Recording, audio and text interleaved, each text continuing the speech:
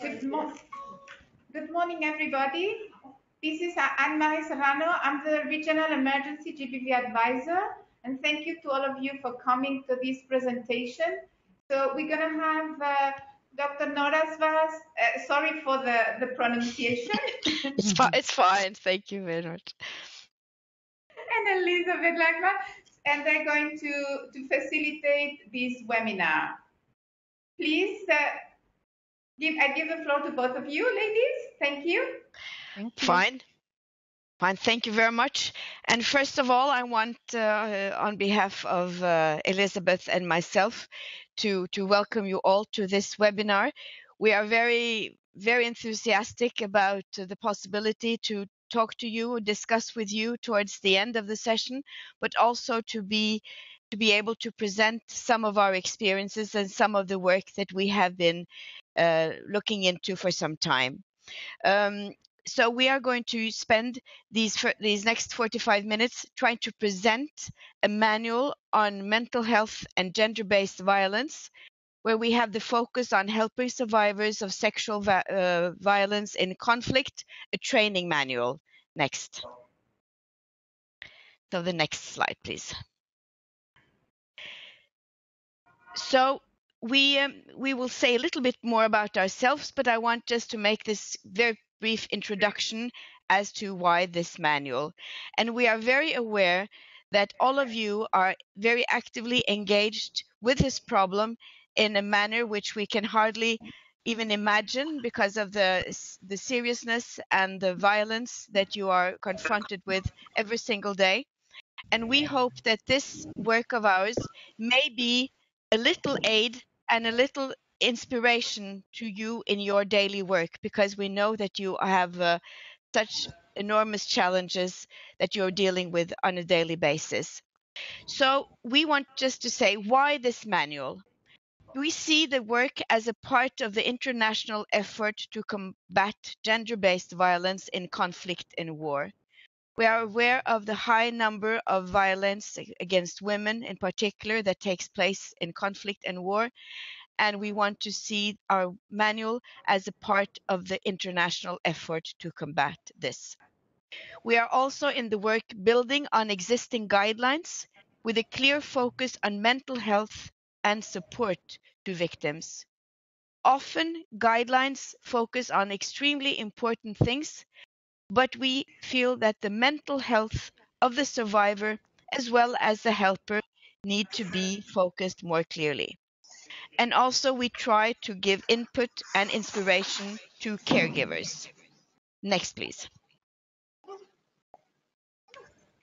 So these are the two that you will be talking to today. I am Nora Sveaass. I'm a clinical psychologist working in Norway. I'm working with refugees and have been working clinically with torture refugees, torture victims for the last 30, 40 years and I've also been member of the UN Committee Against Torture, and I'm now presently a member of the UN Subcommittee for the Prevention of Torture. And Elizabeth? Hello, my name is Elizabeth Langdal, and I'm the Executive Director of Health and Human Rights Info. I have a master's degree in human geography, and I've been working with the Health and Human Rights Info for the last seven years, and on this topic as for such a, uh, for the same amount of time. Thank you. Next.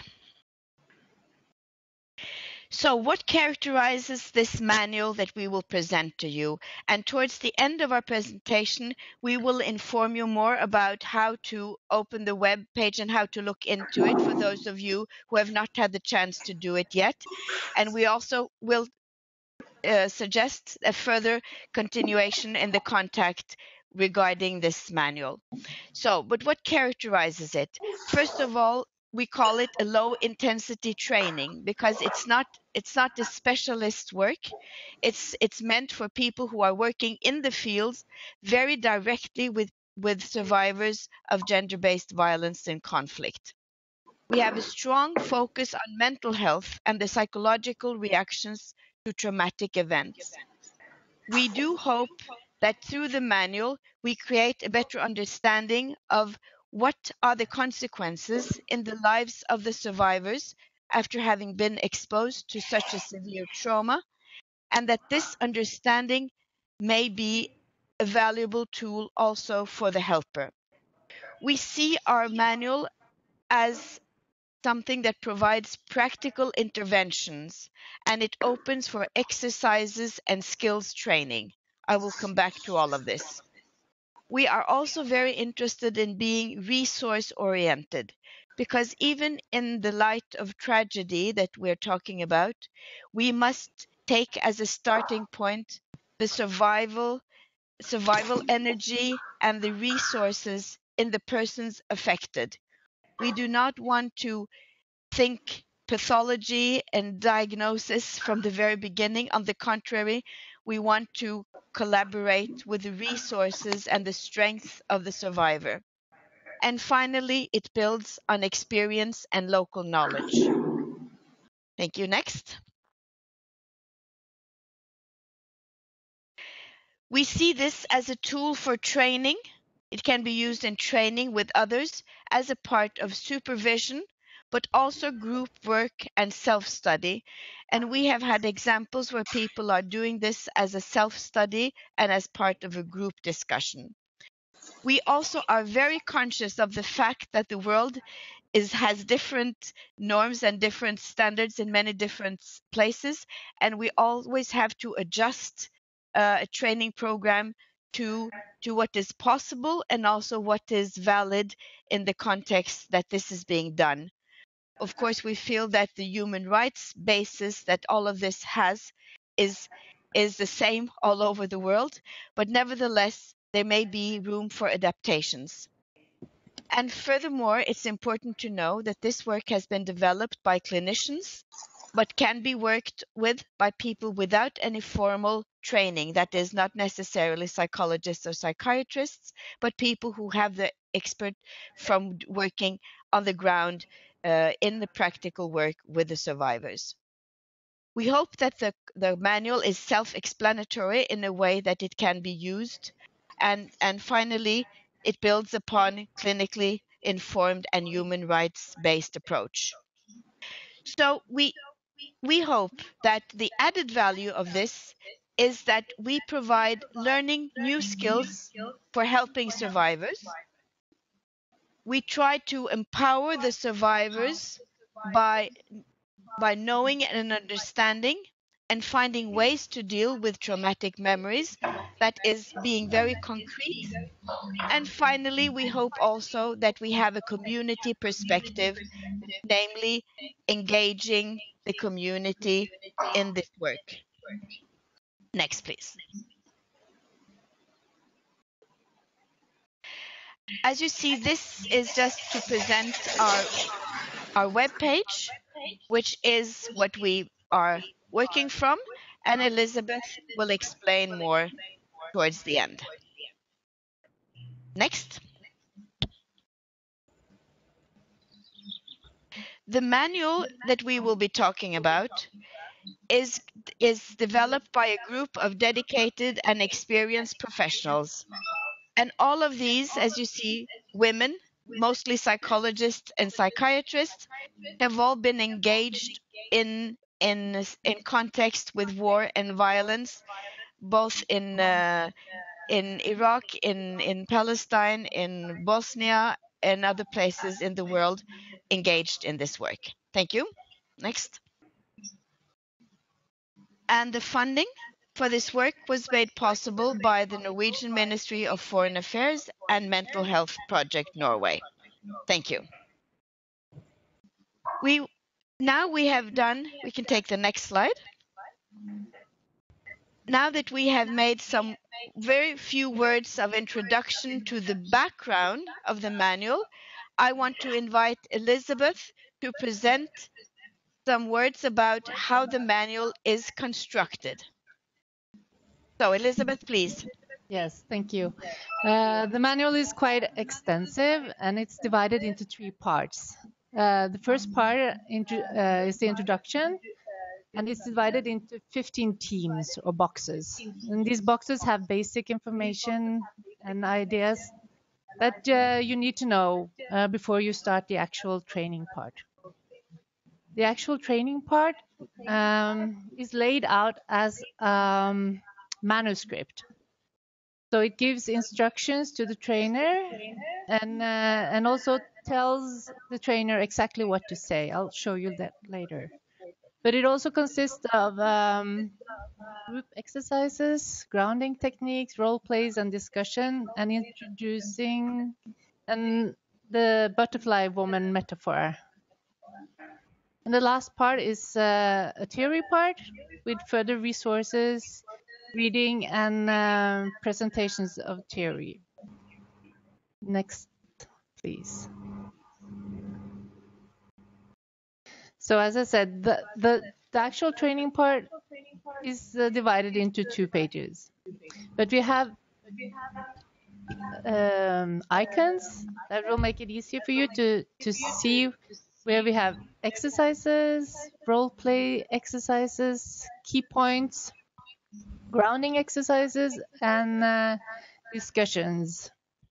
And we also have the whole story, the metaphor of the butterfly woman, and you will see in the manual that is um, very obvious where the where the story starts. Next, please. So as I told you, the the uh, training part is laid out as a manuscript. There is a left side and a right side, and the, manual. This part of the manual it has to be read two two paged, so that the these two pages has to be seen side by side. So on the left side is everything that the trainer needs to know. So this should be read uh, in advance, of course. And on the right side, it's what is to be said loud to the audience. So if you think of this as a manuscript, this is how it's laid out. Thank you. Next, please. And of course, even even if this sounds like something that is very strict and um, and uh, uh, almost coercive, it's not. It's not like that. It's meant. It's meant as an inspiration and as an idea for the work that you are doing in the field or that we are doing when we are dealing with these issues. So it's something that we hope can be discussed also among yourselves as how can this feed into what you're doing already so when we when we talk about making the manual useful we speak about implementing in a way that works in your everyday experience and context including your cultural context and time frame and there may be parts that you want to use more directly than others so again this is very much open for your your your analysis and your experience so the next one, and I will go more into the some of the themes in the manual itself.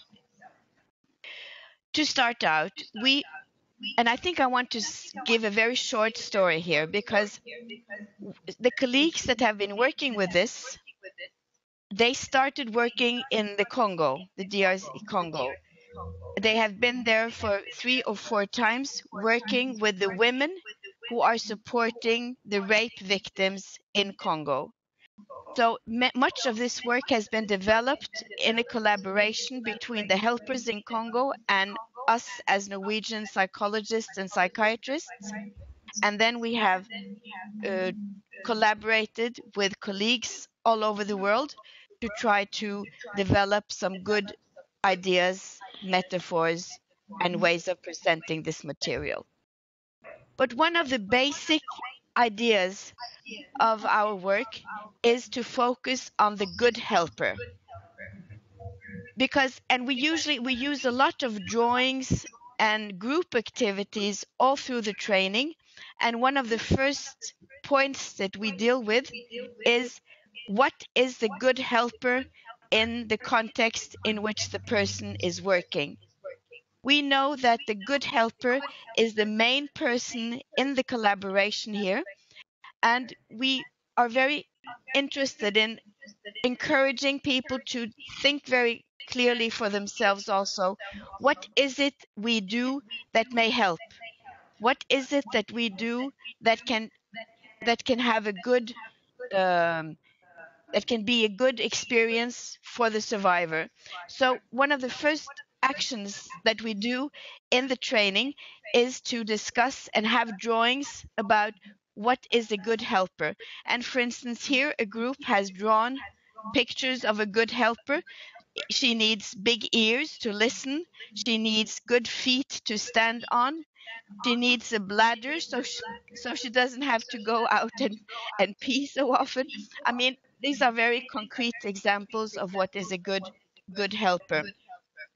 And on the next slide, you see one drawing that was made in one of the sessions that we did uh, in a country using Arabic language. So here you may recognize and read better than we can do what are some of the characteristics of the good helper. But the idea of us of focusing on the good helper is to to strengthen the the um, the awareness of what are the tools that the good helper may have in his or her bag, so to speak, when she or he meets with people who have been strongly exposed to trauma. The next, please. We speak about tools in work with survivors. And some of these tools are, of course, very basic, and all of you are using and are perfectly aware of these. But especially in periods of crisis and heavy burden, it's important to to strengthen the awareness of what is actually the good tools that we can use. And here we list up things like listening, especially respecting and acknowledging painful reactions, very focus on communicating that you see the person, that the person feels seen and understood. And we put a lot of emphasis on creating a safe place, although this may be extremely difficult in situations that are not safe. But the safety that you may create may be for some minutes or half an hour at the time in the relationship with the person. But it's about being creating something that the person can experience as somewhat safe. An important part of the work with trauma victims will always be stabilizing a person by being here and now oriented. As we have all experienced from our work with trauma victims, people are very much in the past, they are afraid, they are not here and now oriented uh, after having been exposed. So one of the ways of stabilizing the person is to help her to become here and now oriented. For this, we can use grounding exercises, and the manual is actually full of concrete exercises and examples of stabilizing approaches that you can use in the work. We also include relaxation and energizing exercises. And even if it may be a bit paradoxical to try to do relaxation in situations which may be ongoing and stressful, it's nevertheless important as a part of stabilization of persons who have been seriously exposed. And finally, psychosocial, psychoeducational approaches we find very important because we know that it's important for a person to understand him or herself the reactions that they may have.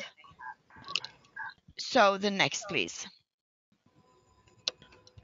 We also want to focus one part which we have discussed a bit also with Anna Maria as a very important part of, of the work, namely to focus uh, on yourself as a helper.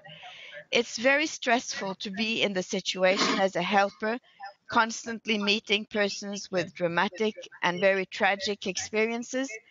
And we know that helpers themselves can become vicariously traumatized or as we call it, secondarily traumatized, and even suffer from compassion fatigue.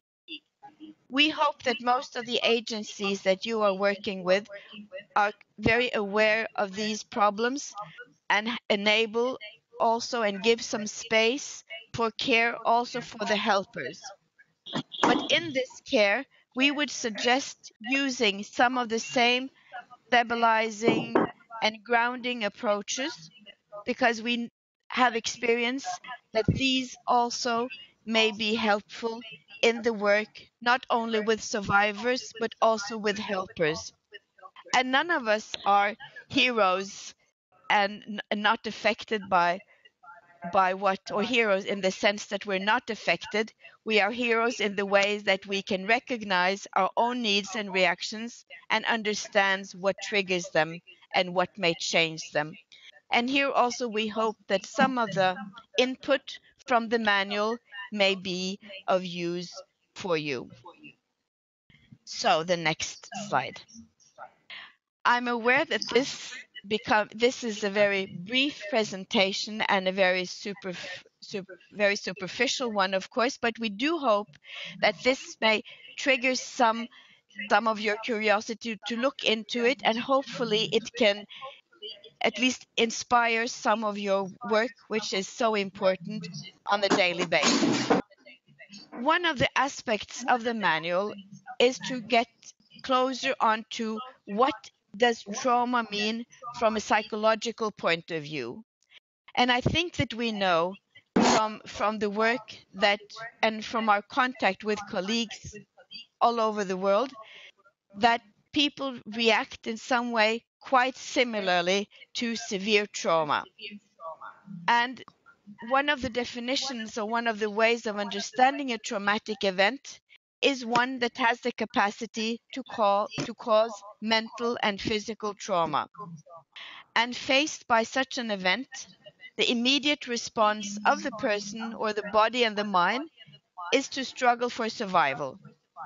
And this is expressed by our tendency to fight if we are in danger or to flee if we are in danger, even to freeze, that is to feel absolutely stiff. And many of us have probably experienced freezing as well or submission that is we give up in a way we just play dead which may be a survival strategy as well some of these basic reactions are similar to what we also can see in non-humans so we have something similar also here the next please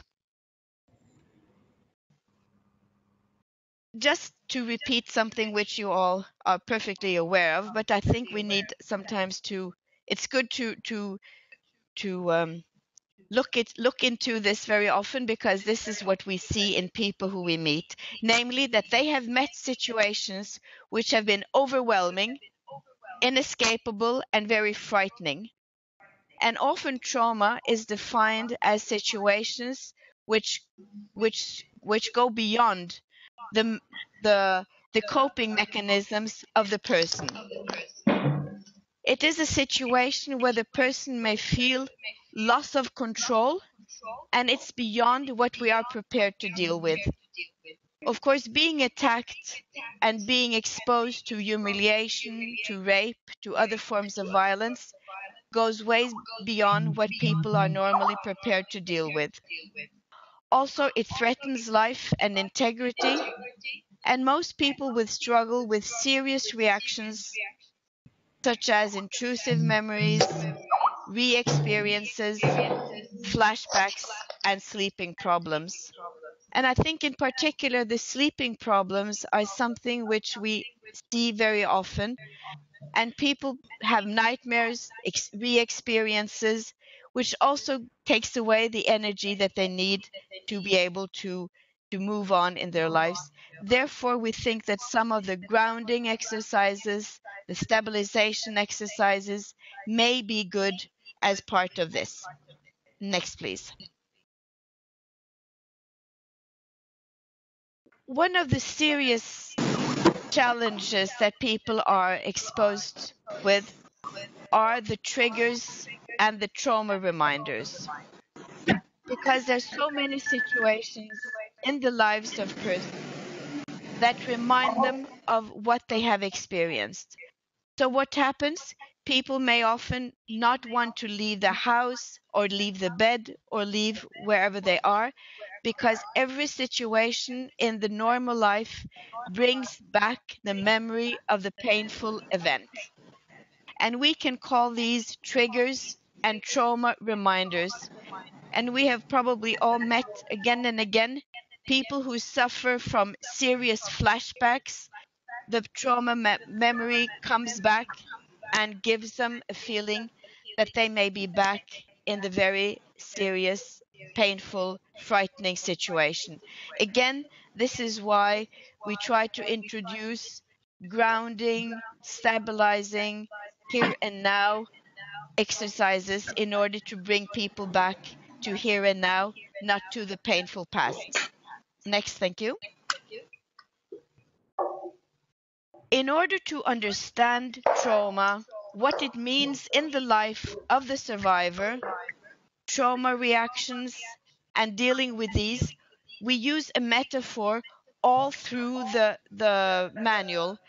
And you may find this perhaps a bit peculiar, but we have discussed and find that it may be a good picture to use because it's a metaphor, it's a story, it's not a real lady, so to speak, but she has a lot of the qualities that usually people have. And using the metaphor is also a way to explain the course of the trauma, how it happens, how it is in the aftermath, how it can be dealt with by the helpers, etc. So we use the metaphor butterfly woman to to explain to the helpers uh, and give them a picture of how this is and how it can be met. Next, please. So here you have one, and we use, as I said, a lot of drawings, and the groups that are in the training sit together and they draw and they develop some ideas. But this is the good, this is the butterfly woman before the bad things happen. As you see, she has good memories of the past. She has had some safe places to rest. She has plans for the future. She has care for her children. She has all the good things that we characterize as strength and resources in life. Next, please. Then the worst has happened. She has been exposed to a severe trauma.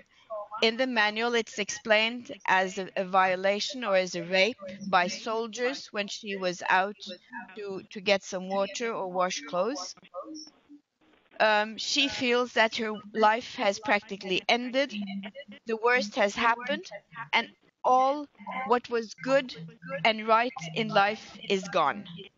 And as you see, this is an illustration of what happens in many of the people we are working with a feeling that everything that was good and nice and trustful and safe was gone, immediately gone, never to come back.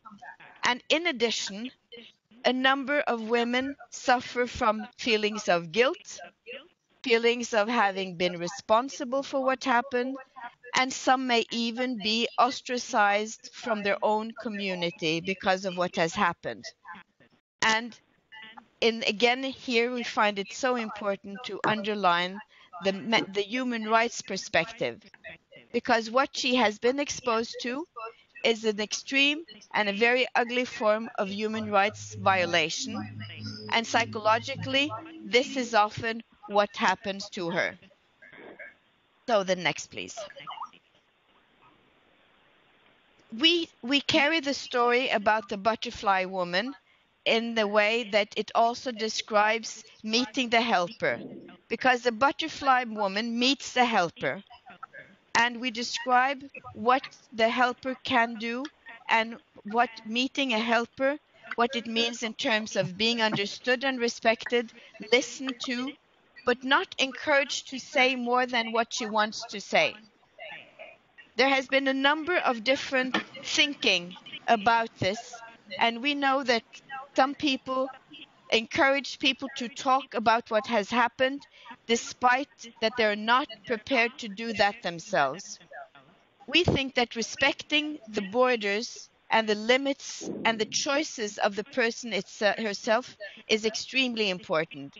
So, never to force her to talk about something that feels extremely humiliating and terrible before she is prepared to do it herself. On the other hand, what is very important seems to try to, try to make an alliance by being present, communicating that you respect, that communicating that you understand what has happened, and providing some feeling to the other that she is not alone. Thank you.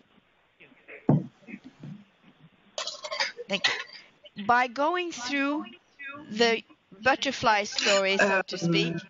Trauma, uh, ecological support for GBV survivors. Yeah. yeah. Yeah. It's the thing for the breakfast. Yeah. Looking for the breakfast. But it's very interesting woman from Norway. Hello? Yeah, I think. Yeah, I think. Ah! I think we have um, some some uh, interfe- or s- probably some Please, Can you all turn off your micro, please, until we get to the questions and answers? Thank you. We Yes, you can we go look, ahead, please. We look very much forward to have some some comments and questions, but we will I will just briefly bring you through some of these points. Again, coming back to stabilization through the explanation of what the helper does to the butterfly woman, we are able to provide information about approaches that helps to handle trauma related reactions. That is stabilizing stabilizing ways to, to talk and to deal with these. And here we explain some grounding experiences as stabilizing methods for handling strong emotions of fear or flashbacks when a memory takes over and is experiences as it happens here and now. We, we can all experience when we sit in front of a person who is so overwhelmed by what she or he has experienced that you feel that they are practically not touching the ground. They have they are so so much in the past, there's so much in the fear and in their strong reactions that what we should do as the first approach is try to get them back to here and now, reorienting them to the present, saying that you are sitting with me now. I am Nora or I am Elizabeth. I am sitting here with you. Right now, nobody is disturbing us. We can speak. You can feel the chair under your under your body and you can feel your feet on the ground and you can feel how you are in contact with the ground. All these very simple techniques and strategies may calm some of the triggers. And in the manual, you will find a number of examples of how these calming or stabilizing or grounding exercises can be used. In the manual, we we encourage people to do the training about this in the groups in order for when they speak to survivors in the real life, they can use some of these strategies to calm and to bring people to the here and now. And often we have to practice ourselves to be able to be to be as here and now ourselves because we also get triggered of course by by what has happened to people. You will find examples of for instance encouraging the survivor to look around in the room to see to see what they see in order to bring them here and now. We sometimes suggest that people have a little stone in their hand to press to remind them that they are here and now. So these are again ways of calming some of the triggers and teaching the survivor ways of reacting, not to be overwhelmed by triggers. So you can see that all these things that we have mentioned now are ways of assisting a person in an early stage. It's not specialized therapy in any way. It's ways of communicating respect initial help and assistance, and also assisting her in understanding that these these violations are human rights violations, that she is an innocent person, that things has been done to her that are crimes. In addition to the calming, grounding exercises. And this is not something that is done with for once and for all. It's something we have to do often again and again. So the the so the manual is full of examples of how this can be done and practical exercises in order to obtain tools in the work. So to move to the next, because as we said, this is just a little taste of what is in. We can have the reporting. Still, the reporting. Go back once, please. Yeah, thank you. Many times we will want people to report the events that has that have taken place, but we I think we must be very careful. As a human rights activist, of course, I'm all for as much reporting as possible. But as a psychologist, I'm also very aware of the problems entailed in reporting. In many places, she may be more exposed after having reported than than when if she does not report. So this is this is always a balance. And I think we as helpers must be very close to her will about reporting and if she decides to report we should be in we should be in close collaboration and also assist her in that reporting in the sense that we support the person emotionally we have tried to describe this process in some detail in the um, in our manual and we hope that this also may be of use for you because I know that this is the discussion that you are having on a regular basis. Thank you. Next.